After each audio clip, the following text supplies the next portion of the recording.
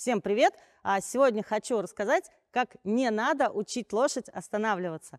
Ну и как надо. Так, Бел, давай, поехали. Очень часто встречаю ситуацию, когда, допустим, всадник едет галопом и пытается остановить лошадь, а лошадь никак не останавливается. И вот вы уже все натянули, как могли, да, а лошадь все скачет и скачет. Вы уже и кричите, и остановись, и стоять, и тру, а она все никак. И тогда вам замечательная мысль сказать «на» и опа, лошадь остановилась. Ура! Мы нашли отличный способ останавливать лошадь. На самом деле, друзья, вовсе нет.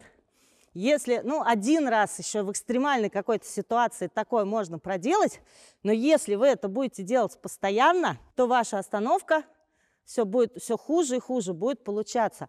Потому что для лошади вот это вот слово «на» – это похвала, которую она связывает именно с поощрением, с угощением. И со временем лошадь начнет задумываться, а за что меня похвалили? Ага, за то, что я бежала, за то, что я вот на эти вот команды к остановке как минимум не останавливалась.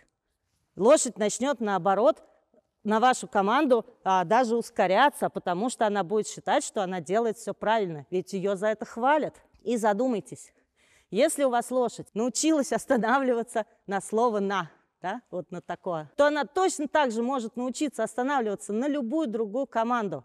Поэтому учите команде к остановке останавливаться, вкапываться на поощрение, потому что это будет ну, совершенно неправильно. В крайнем случае, если у вас лошадь уже научилась останавливаться на слово «на», используйте это слово как команду к остановке, но не используйте его для похвалы лошади в этом случае. Скажите «на», лошадь остановится, скажите ей «ай, браво» и похвалите и в, других, в любых других командах, вот во всех остальных, чему вы учите лошадь, уже используйте «ай, браво», а не «на». А «на» оставьте для остановки.